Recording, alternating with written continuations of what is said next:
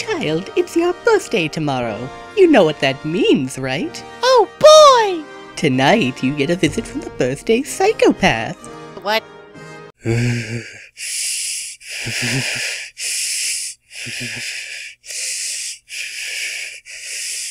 Hello, small pony.